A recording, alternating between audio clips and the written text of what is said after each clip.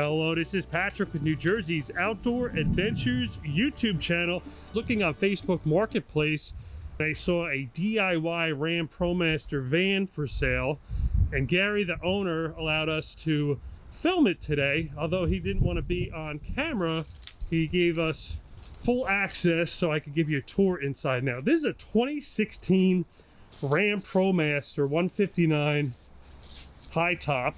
He bought it used with the intentions of building out a custom DIY camper van. And there's only rear windows, no side windows here. So it's pretty stealth looking. Let's check out inside. Up front, he has a shower compartment. There's a passenger side front swivel base. So that chair will swivel around and incorporate into the living space.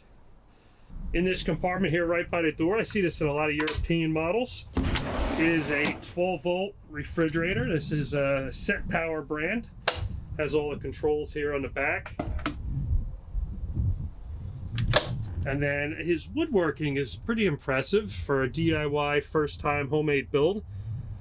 He's got uh, drawer glides here. He cut out the side here for the vent. And in the back, it ties into a 12 volt socket. And there's a vent here on the side of the cabinet that allows this whole thing to breathe and put off any heat. And the latch up top here, that's what keeps it shut when you're driving. Dimmer switch here for the ceiling lights. So I could dim it down as well. And then there's a Renogy inverter on board. It's a 2000 watt countertop material butcher block. All the cabinets uses birch cabinet plywood. The floor is vinyl floor. Snap in, tongue and groove. He trimmed out the front pillar here in fabric. It's all sewn up nice and neat. Let's close this door and head inside. What a very open floor plan. I like this floor plan with the rear dinette that converts into a bed. Take a look at this cabinet storage here. Because the refrigerator occupies that portion, he left an area here which could be a spice rack. There's two compartments there. There's a large drawer with an induction cooktop. You could put up here on the counter. There's another drawer here. All the drawers have a lot of resistance to pull them out to open them so they won't come open when you're driving. You can see here the carpentry.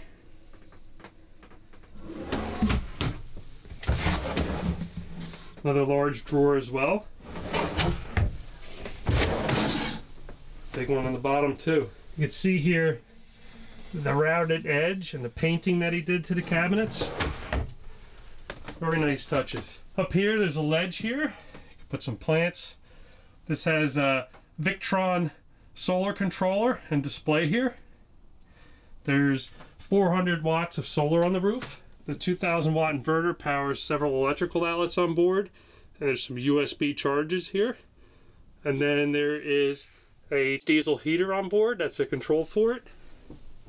The step up in the floor is what houses the furnace. Pull on this little compartment here. This furnace has an air duct that goes into the living area, the air duct that goes into the back freshwater tank area, and then below is the fuel line in and the exhaust out, and then in the back compartment is the fuel tank. Behind that, there's another cubby here below the floor. You put the vinyl floor on top of plywood. And there's another void you can put some items in. We have the kitchen galley area. Below the kitchen sink is a Studor valve or air admittance valve that allows air behind the water to allow the tank to properly ventilate. It goes through the floor into two separate gray tanks. This has the Bosch 120 volt water heater that will work when you're plugged into shore power. This plugs into this outlet right here, and that's what powers the water heater. And you can see all the plumbing that goes hot and cold to the kitchen sink faucet, as well as the shower faucet. There's a composite granite bar sink here and a residential faucet. Plenty of counter space next to it. Even has the back lip here incorporated before he transitions to the wall material. Another USB, an electrical outlet here. Then there's a light switch here for the shower. The remote control for the front MaxxAir fan. And a LED light strip over the kitchen area to give you some task lighting. Overhead roof lockers, plywood, routed edge, painted. All the transitions he had to box in around the ProMaster van. This back piece is on a 45, 90 degree angle here. Lots of complicated cuts. Two struts to keep it up, and a lip on the front to keep stuff from sliding out. Another roof locker back here. Same thing, not as many complicated cuts though. There's another one back here. A bedroom MaxxAir fan with manual controls.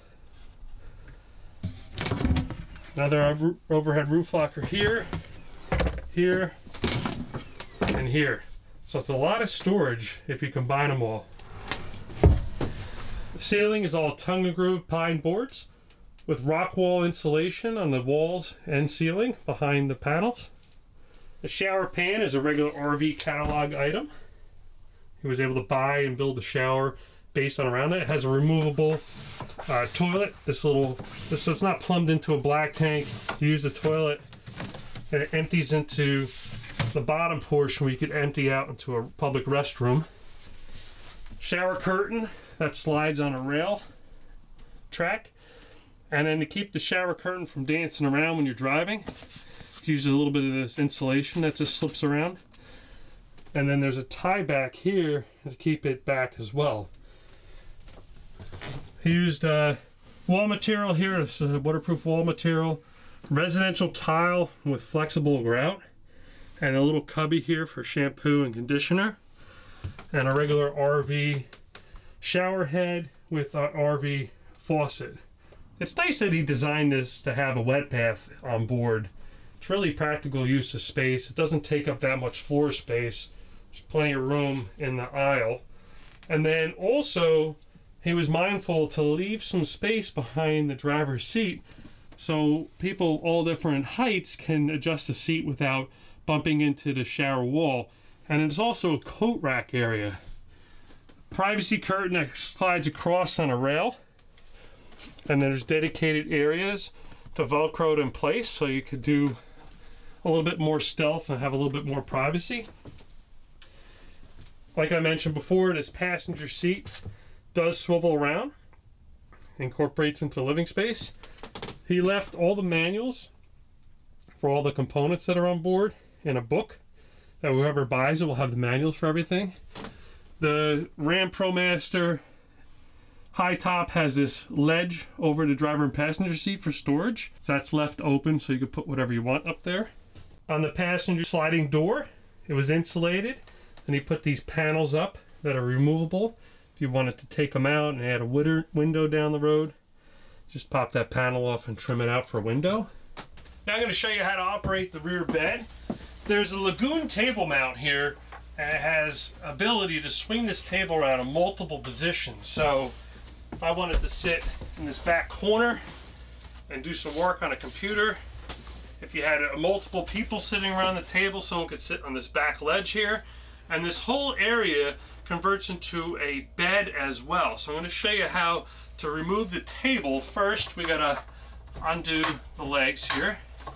The table itself will slip off. Lean it up here on the side. And then the table mount comes unscrewed. Lay that down on the floor.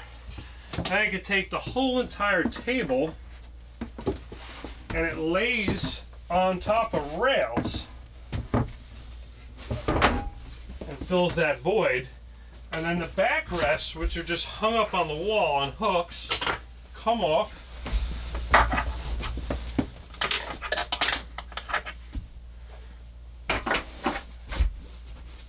You have a bed that you could sleep side to side if you wanted to. I'm five foot nine for reference. I can fit across this bed and comfortable. Sleep diagonal if you would like. But the foam was all done professionally. It's all backed with a Luan board. There's foam inside. It's all wrapped and stapled in with carpet on the back. Uh, very nice job here on these cushions. They're light enough weight. And again, they just hook right onto the wall. So instead of relying on Velcro or snaps, hook it in place. So I can do it from back all the way up here. Just hook it on, hook it on. And then to bring it back from a table to a dining area, it's very simple. Slide the leg into the track of the Lagun table. Lock it in place.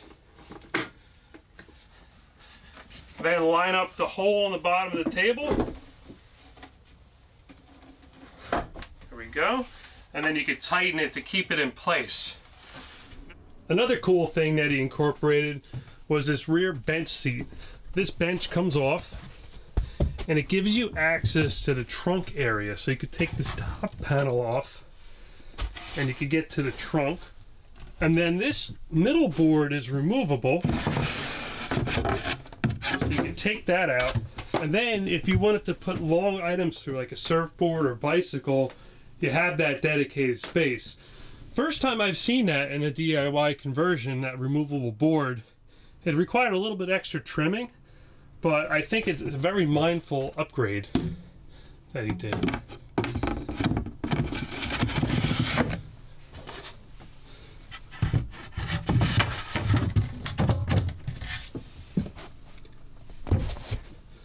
On this side here, when we remove the cushion out of the way, gain access to this hatch that opens up. And in here, there's a strut that keeps it up and in place. There's some wiring diagrams that he put in here for whoever the next owner will be. There's one there, one here, and one here. And this box right here is the wheel well. So he utilizes that dead space that the wheel well takes up to incorporate all the breakers here. The AGM battery that he has on board, 200 amp hour. The electrical breaker panel. The fuse distribution box. The transfer switch. An electrical outlet that powers multiple components the 200 watt Renogy inverter and the battery charger. Also here on the back is the DC to DC battery charger from Renogy, a battery kill switch, and a solar controller. This compartment here has room for expansion if additional batteries wanted to be installed.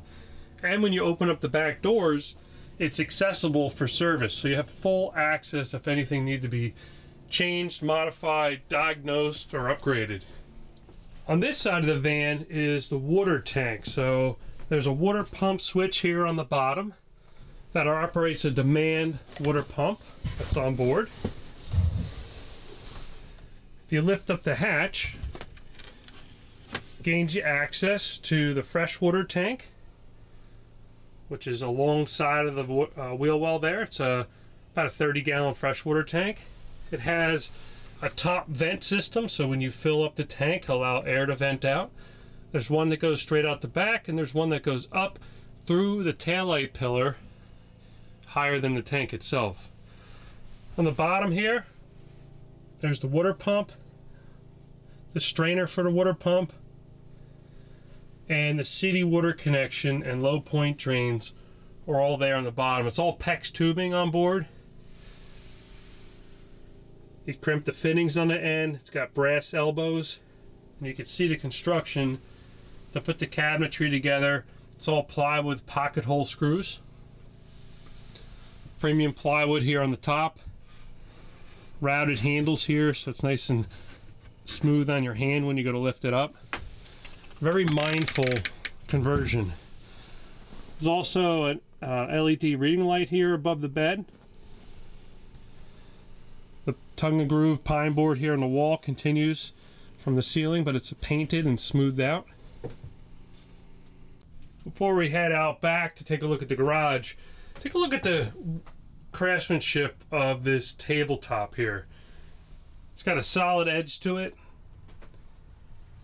stained top, nice and smooth, sanded premium plywood here, and then it's all pocket hole screwed on the bottom.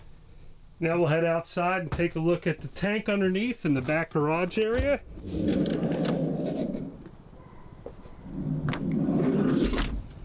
Underneath here is a split gray waste tank, one for the shower, one for the kitchen sink, and then it wires together to one discharge area.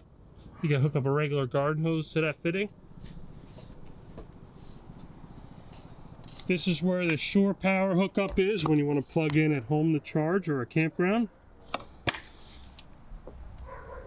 On the roof is the uh, solar panels as well as the two MaxxAir fan lids. In the back here there's a step bumper. Look how wide these Ram ProMasters are for loading cargo. Incorporated a rear privacy shade here that goes across the back. There's a backup camera as well. This gives you access to see your freshwater tank level. Right now there's RV antifreeze in it. And this is how you take out the jug when you want to put it out on the ground to fill it with diesel. And that is the supply line that goes to the furnace. Magnet catch here for the cabinet. We have the drain for the freshwater tank, the fill for the freshwater tank, and the vent for the freshwater tank. This is that removable board here that we saw inside. Underneath that is a large drawer. You also put carpeting in the bottom for some grip here. And then there's a compartment here for storage, but it also gains you access to the other side of the battery area. You can see the fuses, the kill switch, the uh, smart charge controller from Victron, and the Renogy DC to DC battery charger. And then you can sit on this bench here and enjoy the view out the back. Well, this is Patrick with New Jersey's Outdoor Adventures YouTube channel. Hope you enjoyed this video. Please like this video, comment, share, and subscribe. I love it, and we'll see you soon.